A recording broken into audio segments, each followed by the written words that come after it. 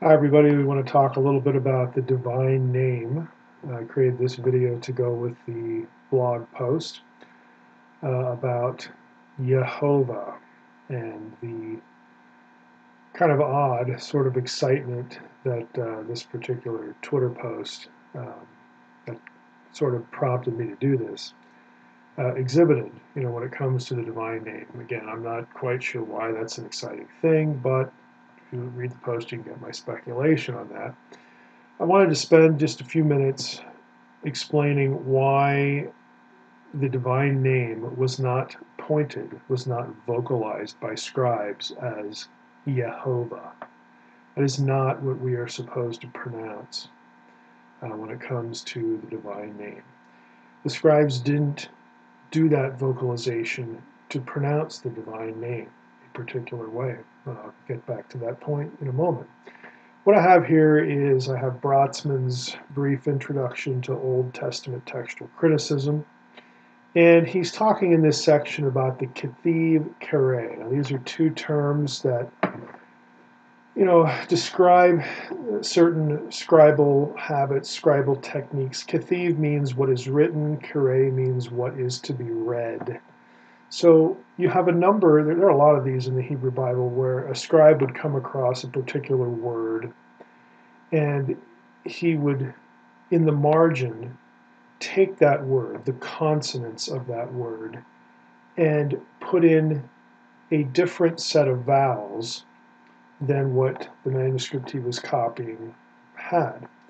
Or, you know, just you know, put in vowels of, of his own choosing. Now, this wasn't arbitrary what the system meant, they would put a little notation in there, and these have become known as the Qere, is that the, the scribe was saying, here's what's in the text, here's what's written, but here's how this word should be read, vocalized. And again, there are a lot of these. Now, one in particular, as Brotzman is talking about, you come to this footnote number seven, and he says, the result of this, you know, taking consonants of a word and then putting in different vowels, really it creates a hybrid form, a hybrid word. The consonants of the text represent the kethiv, again what's written, the vowels represent the qere. That you know, it's actually in a sort it's a theoretical form or an impossible form, but the scribe is just trying to make some sort of comment or correction here. And he has here such a hybrid spelling is behind the divine name, anglicized as Jehovah, and made up of the consonants. There your consonants are Y, H, W, H, Yod, He, Vav, He, and the vowels from Adonai. So again, this is something everybody who does Hebrew Bible study knows that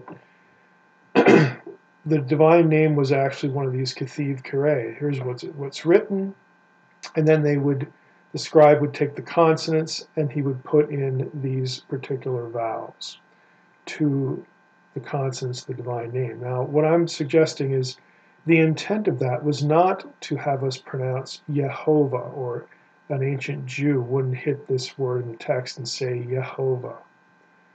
What an ancient Jew would do is when they hit this text, they would know that the vowels came from Adonai, and they would say Adonai.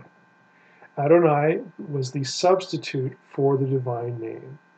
Now, let's come over here and I want to try to illustrate this in a different way. Here you have the divine name, again, YHWH, reading right to left, Yod He Vav.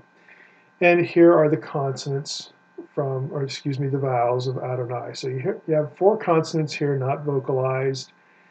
And you've got this word here, Adonai. And what the scribes would do is they would take this vowel right here, and this vowel, and this vowel, and the result of that would be Yehovah. Okay, here, here's, I'll just type it out. Here's what it would look like. Let me switch my keyboard here. This is what you would get.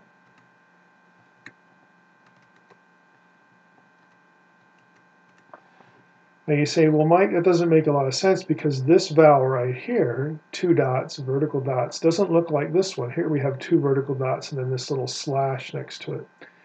That's because this is the way you correctly put the shava, it's called a shava, half vowel, underneath a yod. This is a half vowel that goes under a guttural, and this is a guttural letter, the aleph in Hebrew. So it actually is consistent. We have half vowel, then we have O vowel, and then we have long A vowel right here. So Yehovah would be your result. And this is what has the, the guy had the guy on Twitter, you know, excited, like, oh, I found look at this, I found the divine name with these vowels in it in all these manuscripts, and that proves that the divine name is Yehovah and not Yahweh.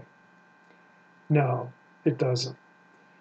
Again, they would do this, the scribes did this, adding the vocalization, not to teach you how to say it. They didn't want the divine name pronounced at all.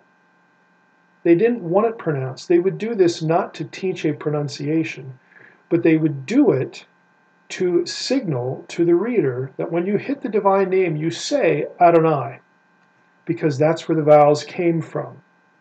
Again, they put the vowels in to prevent people, to alert people to not say the divine name, not to teach people to say that the divine name is Yehovah. Okay, that's the first problem. Now we know this is the case from the Hebrew Bible for another reason. The first syllable of the divine name is not Yeh, as in Yehovah. How do we know that? We know that from passages like Exodus 15. Exodus 15:2. You notice I have Lord selected here. Again, the in English Bibles, the convention to convey the presence of the divine name is to put things in all small caps. There we have it, Lord. And if we go down here to the information column, we will see that the divine name here is not YHWH. It's just two consonants, the Yod and the He. And the He has a dot in it to signify that that is a full consonant. He can also uh, serve as part of a vowel. The scribes would do that. They'd put the dot in there to make sure that you knew it was a consonant. So this very clearly is a long A vowel. It is the same vowel, we go back here, as we have at the end of Adonai, right here. It gets put into the four consonants. It is Ah, A vowel, Ah. Okay, if we want to look at in the Hebrew Bible, Exodus 15:2, right there it is, Yah. That is the first syllable of the divine name, Yah. We know it absolutely, categorically, because the short form of the divine name, Yah, the two consonant short form, has an A vowel consistently in the Hebrew Bible. It doesn't have Yeh, it's not Yeh like short for Yehovah, it's Yah. Now, if you want to know about the second syllable, why it's Veh, or at least that's the best guess, Yahweh, Yahweh, you can go to my website and put in the divine name, and you'll, you'll get a, a full discussion of what, how we know about the second syllable, or at least the best guess. But what we do know for sure is that the divine name was not Yehovah.